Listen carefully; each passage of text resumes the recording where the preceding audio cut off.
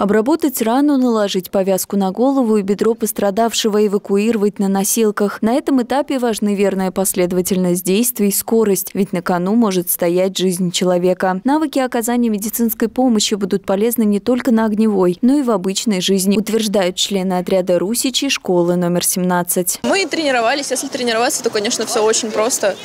Но возникали, конечно, трудности, но все в порядке. Мы прошли этап, собой довольны. Кто знает, как повернется жизнь и чем нам это пригодится. А, просто интересно узнавать что-то новое, пытаться как-то что-то это применять.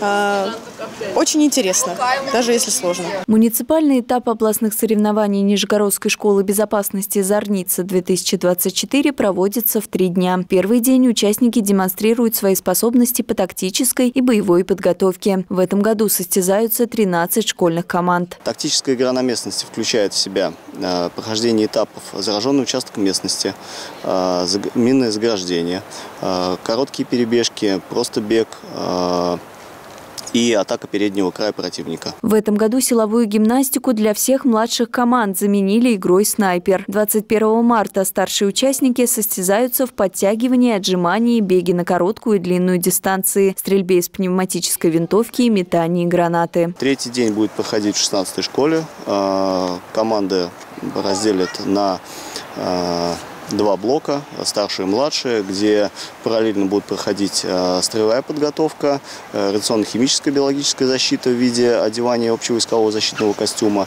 э, и историческая викторина. Из нововведений этого года то, что в прошлые на дивизионные этапы выезжала команда только старшей группы. В этот раз на области наш город представят также средняя и младшая. Дарья Козина, Евгений Шикарев, Сергей Рябов. Служба новостей Саров 24.